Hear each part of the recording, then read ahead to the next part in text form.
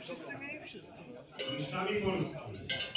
W roku 2018 mistrzami Polski par na Intę zostali Natalia Zakowska, Piotr Butry.